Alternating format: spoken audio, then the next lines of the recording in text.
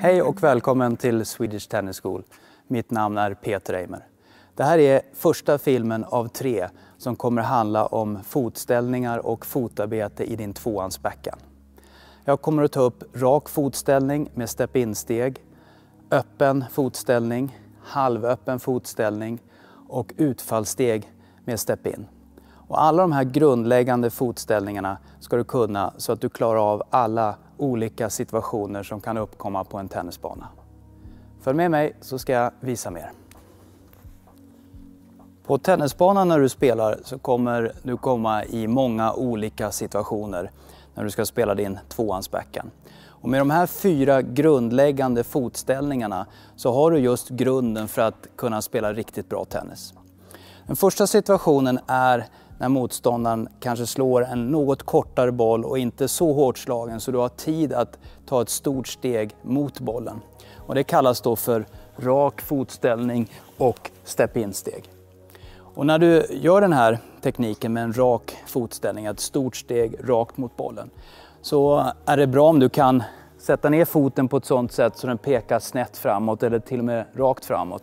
För då kan du vrida fram höften så att när du träffar bollen så ser det ut ungefär så här. Och sen svingar du igenom och du tar step-in-steget. Så rak fotställning och step-in-steg, väldigt bra när bollen är framför dig och den kanske inte är slagen så hårt så du hinner ta ett stort steg mot bollen. Väldigt effektivt för du drar upp tempot och det blir tufft för motståndaren att hinna med. Får du däremot bollen ordentligt på sidan, du kanske är pressad ehm, för att motståndaren slår en riktigt djup boll, då är den öppna fotställningen väldigt bra.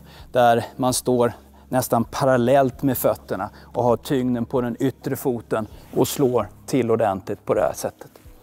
En bra och effektiv teknik därför du rör dig snabbt utåt.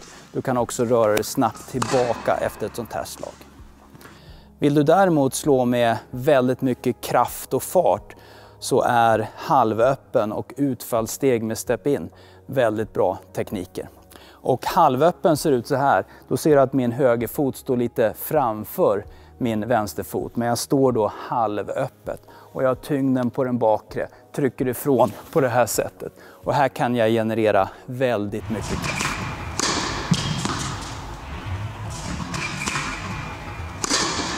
Så det här är en teknik som du kan använda när du har lite mer tid på det eller om motståndaren slår ganska djupa bollar och du är tvungen att röra dig bakåt. Då är halvöppen väldigt bra.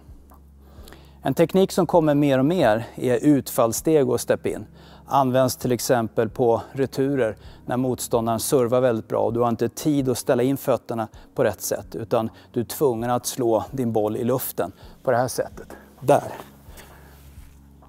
Så utfallssteget är det här steget jag gör i luften när jag svingar. Den här tekniken ser du väldigt ofta när motståndaren måste springa från hörn till hörn och av tidsnöd inte hinner sätta ner bollen eller ner foten.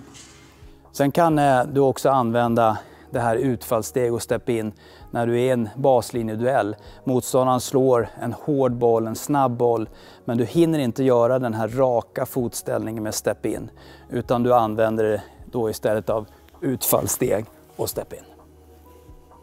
För att sammanfatta de fyra grundläggande fotställningarna i din tvåans backhand så pratade jag först om rak fotställning med ett step-in-steg. Ett perfekt fotarbete att använda när bollen är framför dig och kanske lite kortslagen och du har tid att ta det här stora steget mot bollen.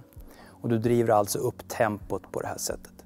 Får du däremot en tuff boll på sidan på din backhand där så är det bra att använda sig av en öppen fotställning. För det är ett bra fotarbete som gör att du snabbare kommer ut till bollen och sen snabbare kommer tillbaka. Vill du däremot slå med mer kraft så kan du använda dig av en halvöppen fotställning eller utfallssteg med step-in. Och utfallssteg och step-in kommer mer och mer i tennisen, används bland annat i returerna och så fort du vill driva upp tempot eller om du är väldigt pressad och inte har tid att sätta ner foten så slår du i luften. Så träna på alla de här fyra grundläggande fotställningarna så blir du en bättre tennisspelare.